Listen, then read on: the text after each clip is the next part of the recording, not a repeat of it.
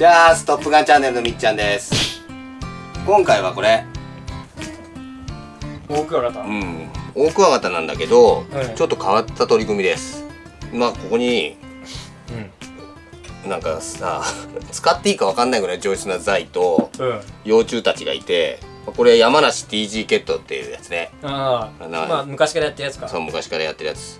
まあそれまあ 81mm までいったんだけど。うわーなんかあれだね。久留米ばっか見てるとバランス全然違ってすごい。なんかひょろい虫みたいな。ひょろい。でもなんか顎が本当に尖っててかっこいいね。ね。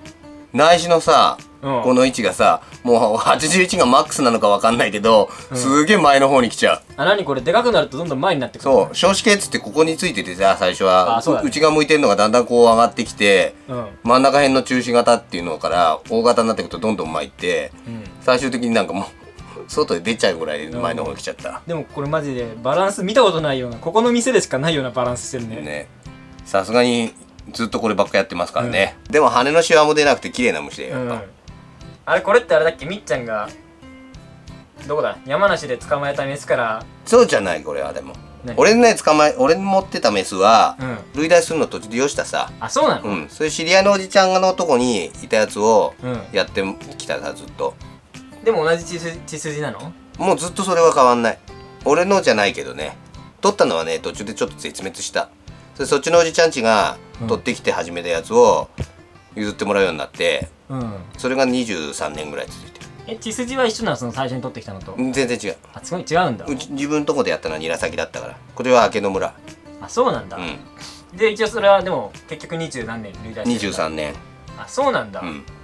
まあ本当に取ったのが続いてればよかったけどね、うん。そっちのおじちゃんち、まあ、知り合いのおじちゃんちがやってたやつを譲ってもらうようになって、そのメスカ やったのやったのって変だなまああの23年前に取ったそうそうそう。1メスから。1ラインで1ラインっていうか1メスからずっと派生したもの。へえそれもすごいよね、うん。だから他の血筋は混ぜてないし、うん。新しい山から取ってきたのも入れてない。そうだね。とにかく類題続けてるまあじゃあ今日これを使って何をするの？これを使ってうん。あの在飼育をやってみたいと思います。これを使ってというかよ同じ系統の幼虫を在飼育をやってみたいと思います、おじゃあとうとう在飼育やってくれるのかうん、そうそう。母ちゃんがね、在飼育在飼育ってうるせえからそう、もう在飼育なんか散々子供も昔やったんだよね。そうそうかあのー、店始める前に大体みんなが取り組むとこ。ああ一番最初にね手に入りやすいもんねそうそう。それで、天然の個体、こうなんかね、ここのふうちのとこのところが天然よりの、あの、飼育品は薄くなっちゃって、うん在飼育やるとその縁が出るってみんな言うんだよ。えそうなんだ、うん、まあそれも検証してみようっていう。そうかまあ、まあ在飼育だけどね、なかなかね、60、まあ65まで行ったことあるけど、うん。行かないよ。行かないからそれがはっきり出る答えができるかどうかわかんない。ああなるほどね、大型にならないってことね、あんまり。中止個体みたいになるってこと？そまあでもコメントでねやっぱ結構財で飼育するにはどうしたらいいんですかみたいな来るからう、さ、うん、まあ。あまあだったら動画にしとこうかなみたいな。そうだね。う材もねクヌギの材が一番栄養価高くていいとは思うんだけどちょっとあそうなんだ。クヌギ材があないので一え。応奈良材でやっちゃいます、へえそうなんだね、うん、でも奈良材もこれ 新なしのほぼ新なしのうん。すげえいい材なので多分あのうん。普通の人だと産卵に使えっつって怒られ怒るようなものだよね。へ、うん、えこれどうやっていい材ってわかんの？もうこのささくれ方から匂いから。ささくれ方はどういう感じ？これ切り口がサクサクしてるやつがいいさ。あーなんかそのつるっとしてるやつは、うん。あの硬くて産卵にも向かないさうん。ださもう芯もほとんど在飼育の場合はなしでうんあの産卵だったら最高級の材ぐらいのやつを使います。だからもったいねえからやりたくないという。なるほどね。う んでも餌としてもそっちの方がいいってこと餌としては一番上質これが。へえ。なるほどね。やっぱむ親が卵をたくさん産むってことはうん餌として能力が高いってことだ。ああからなるほどね。そこに一応幼虫を投入したいと。思いおおじゃあちょっと楽しみだけど。ますうん。まあ時期的に遅い気もするけどね、うん。幼虫投入するなら。そうだね。もっと早くやるべきのもんだけどね、うん。まあいいやでも、うん。今はねエアコンとかもねちゃんとしてるからあ温度も下げとけば長く引っ張れるしあうん。夏に暴走しなければ、そうだね、うん、浮かじきもちょっと後ろに持っていけるから。あーこれちなみに羽化はどんぐらいになる予定？外の温度が異常に上がると、うん。6月7月になっちゃうと小ぶりで出ちゃうと思ああそうなんだ。う万が一9月ぐらいまでに、うん、さなぎ持っていければ、あじゃあ来年の9月羽化予定ってこと？こいつらは。にしたいけど多分難しいと思う、まあか部屋。今年の夏の温度ぐらいだと、うん。下げよう下げようっつっても下げきれね。えああそうなんだ。うん。で材飼育にはやっぱさっき言ったようにこの上質な材と、うん。そして電気ドリルで幼虫投入穴をこれに開けます、うんうんまあ、これ 20mm ぐらいのホルソーがついてて。うん。うんであとはもうこれを入れるためのショーケース。うん。でマットはあの発酵マット使うとそっちを食べて餌になっちゃったりするので、う一応未発酵の埋め込みマットを使います。あれ？これって産卵木砕いたものと同じだよね。同じです。ってことは実質この材を食わしてるのと同じになるいやこれね結局あのうん。粉砕すると劣化が早くなっちゃうのでずああそうなんだ。粉状になったものが半年もするとうん真っ黒系になっちゃいます、あそうなんだ、うんへえそれで一応、まあ、保湿のためにこれ加水して天井まで入れちゃうと外出てこれを食べちゃうと思うので、あの材を半分だけ埋めときます。うんへええそのさはい。マットを入れる理由はじゃあ保湿のためってこと？保湿のため。これはもう餌にしないので。実際はじゃあさこのうん、園芸用スポンジみたいなのの中上に転がしていてもいいってことちょっと掘り掘って、うん、まあそうだね。材が。はい、ううんんまあ本当にそう。段ボールみたいなの濡らして入れといてもいいし、うんなるほどねそういうやり方でもいいと思う。うんうんうん。だとにかくこれを加水してこれを餌にするから、うん。餌はこれ。うん。外側は保湿。なるほどね、うん。だからとりあえずじゃあこの木に穴を開けます。あれ皮は剥かなくていいの？これね皮むかない。皮むくと、うん。こっから幼虫が食ってくると外に出ちゃうさ。あそうなん皮だがついてればそこから折り返してくれるから。あへうん。へいへいほー。えいや古っじゃあここにちょっと穴開けます。これちょっとしいたけの小巻き入れた穴の穴開けます。のでいや僕はびっくりしてた勝てなやっぱどうかな。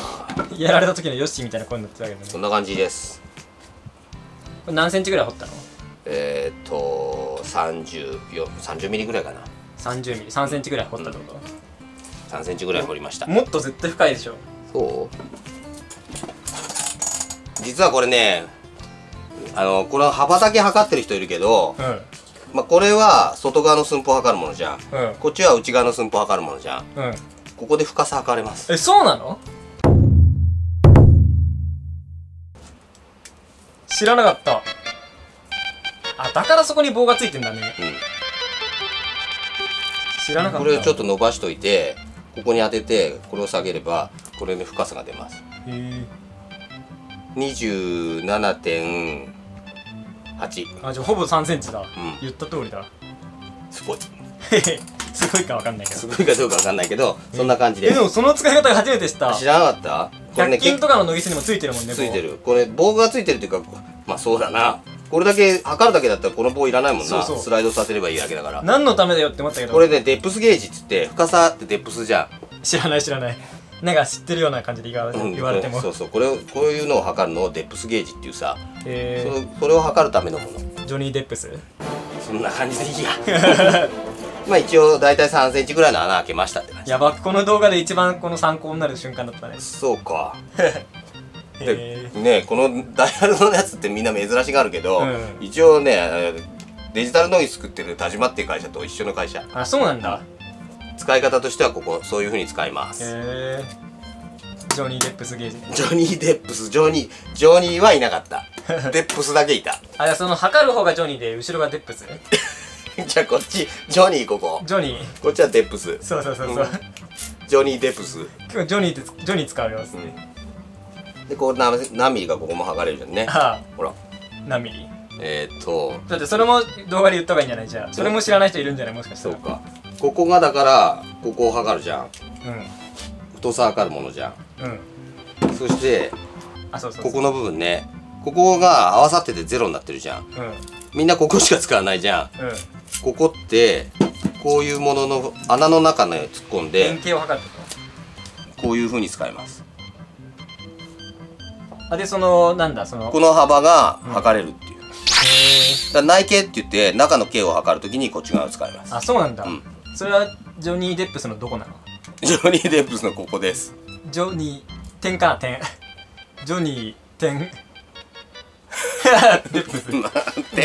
まあそう名前のな中でどこの部分だっていうこと。そうそうそうそう こじゃあここがジョニーでここがドットみたいな感じでこれがデップス？あれドットドット使う。ジョニー・ドット・デップス。ドットくん、うん、ドット。そこはドットねそんな感じです。なるほどね。道具っていろいろ本当は使い道があるんだけど。それ1個で3つ測れるとすごいね考えてみたら。そうね。そんな感じです。うん。まあな余談になっちゃったけど、うん。いろちょっと参考になると思う。うん。知らなかった人の方が多いと思うかかった。ジョニーの使い方は知ったけどね、うん。デップスの方知らなかった。らそうな。うん。ドットはどう？ドットは知ってたドットあドはットはしてた。まあこれ一応うん。20mm でここ3センチの穴開けました、はい。ここに一応幼虫等にしていきたいと思います。加水はしない。のあ加水しますそれ言うの忘れちゃった、うん。これあ穴開けづらくなるので穴先はとにかく乾いてるうちに開けて、うん。水分含むとねこのガスが詰まったり、うん。これ食っちゃうんですね。ああそっかそっか。うん。で乾いてるうちに開けてそして皮は剥かずに15分ぐらい加水します、うんうんうん。15分加水するとある程度もう吸っちゃうので。えこれさドリルがない人はどうすりゃいいの？ドリルがない人はどうしましょ質問を質問で返すな。あれ？じゃあこの今これ3例だよね、ううん3例じゃなくてしいたけの小巻きの部分をくり抜いてあ書類ならそこでいいよ。書類を入れればいい、うん。ここね抜けばそれでどれ？あこれ。これね。これ発泡スチロール詰まってるけど、うん。これ抜いてここのとここじればうん。出てくるので穴が。うん、でこの穴に投入すれば勝手に食ってきそうだね。なんかそのためにある感じするし。それじゃないともう小巻きの穴だからね。まあそんな感じです。とりあえず加水してみます。はい。えー15分の加水が終わりました。かんちゃんこれ見てマジもったいねえからこの材本当？よしじゃあ作ってきますよ。これマットの量は別にあー火が半分埋まるぐらいっすね、そう。大体産卵ケース作っててもそうだから、うん。ここにちょっと山ができれば。今、あ本当だ。ね。パイオツみたいになってる。オルゴレカンちゃん。いや何も言わずに加水すんのやめてほしいよ。ああそうか。だって流れがそうなっちゃって。一応ねこれね、まあこの量だと大体 100cc ぐらい加水すりゃいいと思うさ、うん、これケースのサイズはどんぐらいなの？ケースは小です。ショーケースです。フィルター2つかあ意外に少ないんだね。